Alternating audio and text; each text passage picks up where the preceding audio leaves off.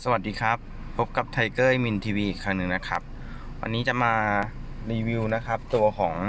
ที่จับพวงมาลัยนะครับ มือหมุนจับพวงมาลัยแบบนี้ครับเห็นปะคือมันจะมีสองแบบที่ผมเคยใช้ก็คือแบบนี้นะครับ แบบนี้มันก็จะเป็นแบบ ต้องใช้น็อตขันนะครับ แล้วตัวนี้มันก็สูงขึ้นมา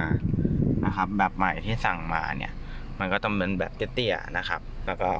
ส่วนมากมันจะใช้มือทาบแบบนี้นะครับ มือทาบ กดทาบแล้วก็หมุน อย่างนี้นะครับ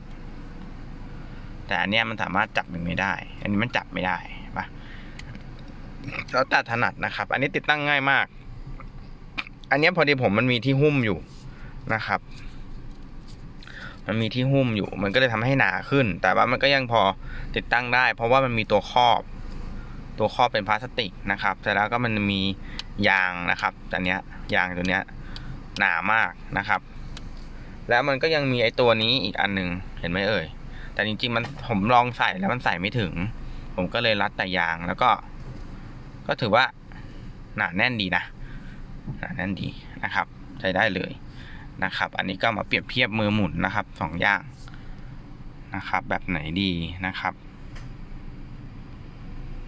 ก็ลองไปหาซื้อดูว่าไม่ไม่กี่ตังค์ครับร้อยนิดๆไม่ถึงร้อยก็มีนะครับ ใน Shopee ครับ ตัวเนี้ย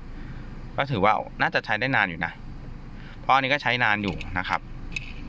แต่นี้มันก็เริ่มก๊อกแก๊กก๊อกแก๊กแล้วนะครับ โอเคนะครับ อย่าลืมกดติดตามกด subscribe ช่องอิมินทีวีให้ด้วยนะครับ สวัสดีครับ